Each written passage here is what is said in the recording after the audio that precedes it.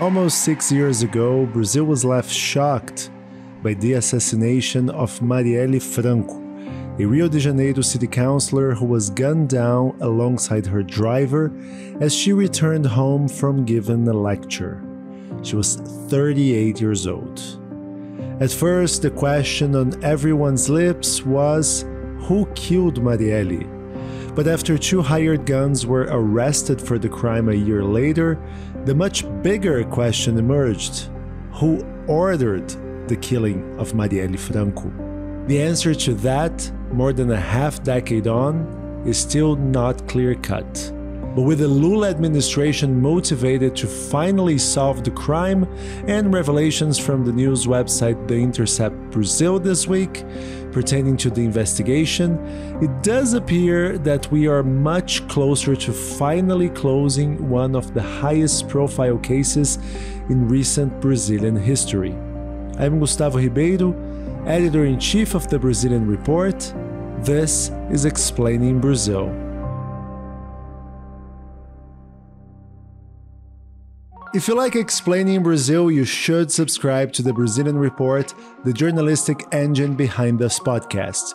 We're an independent organization funded by subscribers, and you can help us stay independent and continue to produce award winning journalism.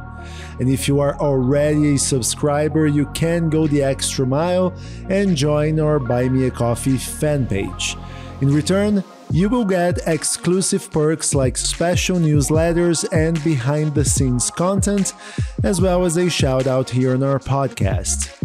Today, I'd like to thank our Buy Me a Coffee members Carson Allen, Gabriel Luca, Andrei Novoseltsev, Pen Ludwig, Leslie Seal, Mark Hillary, Luis Hans, Erwan Menais, Aaron Berger, Carlos Vresvik, Alasdair Townsend, Miller Renascido, Peter Abrahamson, David Dixon, Jose Rose Stankovic, Emerging Market Muser, Anna Lund, Peter Suffering, Anderson da Silva, and someone who chose to remain anonymous. And our Buy Me a Coffee members come from all over the world, so please, if we're butchering the pronunciation of your name, do send us an email. And if you too believe in the importance of independent journalism and want to hear your name on our podcast, go to buymeacoffee.com slash Brazilian Report and subscribe to one of the membership tiers. Click on buymeacoffee.com slash Brazilian Report to find out more.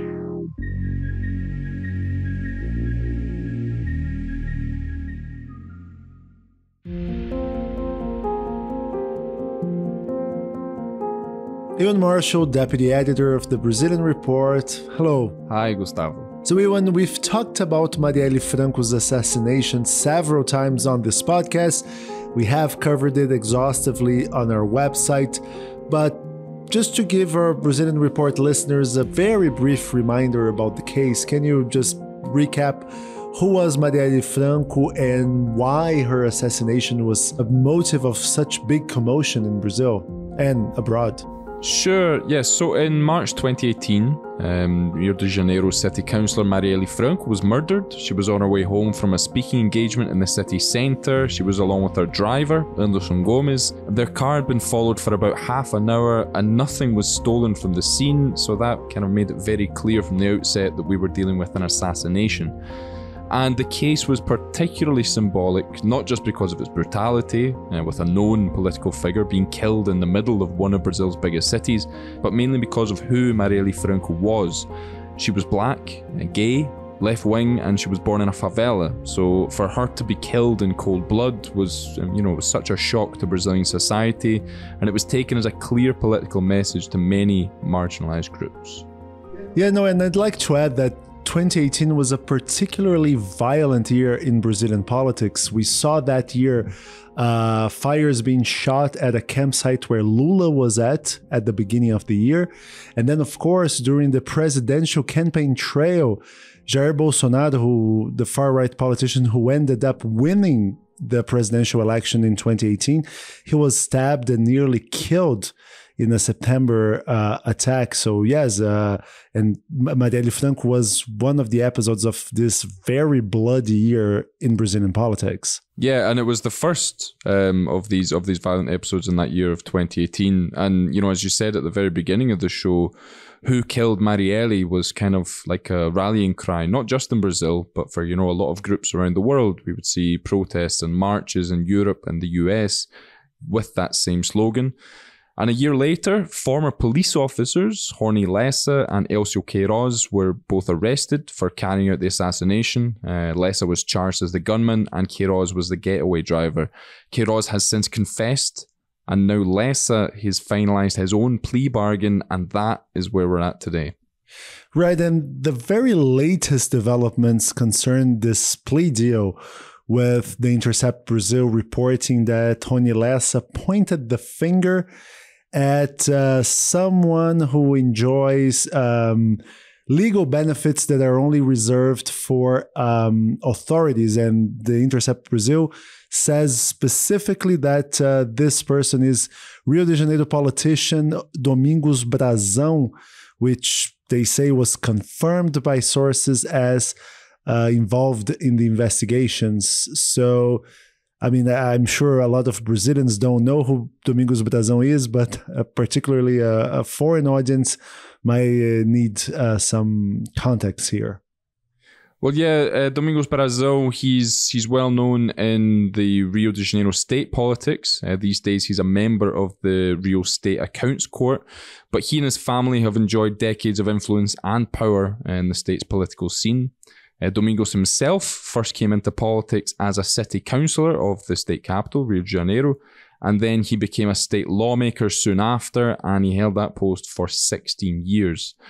And in 2015, he was picked to serve on the State Accounts Court in Rio de Janeiro. And that is, you know, he gets tasked with overseeing public spending by the state government and in all of Rio's municipalities. And just a parenthesis, Rio de Janeiro State Accounts Court is literally, it literally has every single one of its board members under investigation, not necessarily for murder, like the Intercept Brazil says Domingos Brazão is, but for very different crimes. So, and this account court sort of epitomizes how problematic Rio de Janeiro politics can be, right? Yeah, and Domingos' brothers, Chiquinho and Pedro, they're both in politics as well. Uh, Chiquinho's a federal lawmaker, while Pedro Brazão serves in the Rio State Assembly, a job that Domingos Brazão used to have himself. And the Brazão clan, its political stronghold in Rio is in a neighborhood called Jacarepaguá, which is in the west of the city, which has been notoriously controlled by paramilitary police mafias, which are known as militias in Rio de Janeiro, and which Marielle Franco spent a considerable part of her career fighting against. And in 2011, Domingos Brazão was briefly impeached after he was charged with vote buying in Jacarepaguá. Uh, investigations found that he'd distributed medicine, food, toothbrushes, and even wheelchairs with his name on them ahead of the election. That matter then went to the Federal Electoral Court, which issued an injunction and allowed him to remain in office. And Domingos Brazão was also tied up in one of the offshoots of Operation Car Wash, uh, which investigated a bribery scandal in Rio de Janeiro, in which public officials had received kickbacks from government contracts. And as you mentioned there earlier, Gustavo, that affected a lot of members of uh, Rio's accounts court. Domingos Brazão was arrested as part of that investigation, but he was released by a court order just a week later. And at the time of Marielle Franco's murder, he had been suspended from his position on the State Accounts Court. And Domingos Brazão has been mentioned in this case a few times before, right? I mean, this latest information is hardly a bolt from the blue. You're right, it isn't. Uh, Domingos Brazão was actually one of the very first suspects singled out by the federal police as having ordered the crime, and he was formally accused of trying to obstruct the investigation. Um, and that accusation, which came from federal prosecutors, said that Brazão had managed to plant a phony witness in the investigation. And that witness pointed the finger not at him, but at his political rival, Marcelo Siciliano, and militia boss Orlando Curicica, who were both disputing influence in Jacarepaguá at the time. And then last year, the aforementioned getaway driver, Elcio Queiroz, he mentioned the involvement of Domingos Brazão in his confession to the police. So, if he were to be the guy, is there any indication as to the motive for ordering the killing of a politician? Well, there are a few theories, um, but obviously, without full access to the investigation, that's that's really all we can go on at the moment. Um, but one of the most important links cited by people close to the investigation is Marcelo Freixo, who's a former federal lawmaker and the current president of the Brazilian Tourism Board. During the 2000s, when Freixo was a state lawmaker in Rio, he led a parliamentary inquiry into the state's militias problem and its links to politics, uh, during which time he had some very public disputes with Domingos Brazão and many of his allies. And in fact, in the sequel to that famous Brazilian action film Elite Squad, uh, starring Wagner Moura, the politician character who in- investigates the militias, he was actually based on Marcelo Freixo. Anyway, Brazão was eventually named in the inquiry's final report as one of the kind of select group of politicians who were authorized to campaign in the militia controlled region of Rio das Pedras, which is adjacent to Brazão's heartland of Jacarepaguá. Now, before she was elected as a city council member in 2016, Marielle Franco actually worked as a staffer for Marcelo Freixo. So the potential suspicion there is that her assassination may have been a way to get some sort of revenge on Marcelo Freixo, but you know, these are merely theories that the investigation is looking into. So if Brazão has been pointed at by both men arrested for carrying out the crime, what's going to happen now? Well, unsurprisingly, it's complicated. Um, plea bargains are a mechanism that allow defendants to reduce their sentences or obtain better conditions in exchange for turning state's evidence and helping with the investigation. But of course, you know, these people are motivated to give up dirt on others, whether that be true or not. So all of these claims have to be checked and double checked. But hypothetically, if the police attention was to turn completely to Domingos Brazão, he actually enjoys an important layer of protection because he is a member of the Rio State Accounts Court. He can only be put on trial by the Superior Court of Justice, which is the second highest court in Brazil. So that court would have to confirm and ratify Ronnie Lessa's plea bargain, and then it would have to be taken from there.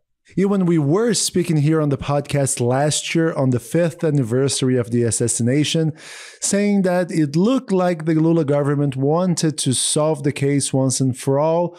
Is it a coincidence that just one year later things seem to be opening up a little bit more? I think you could definitely give some credit to the federal government. Yeah. Um, I mean, since the Justice Ministry opened its federal investigation into the assassination, and, you know, since we did our last podcast on the matter, we have the two men arrested for carrying out the murder, both entering plea bargains in a bid to kind of get us closer to the answer that everyone has always wanted to know that is, who ordered the assassination. So, I mean, we've certainly made more progress in the last 12 months than we have in the last five previous years, I'd say.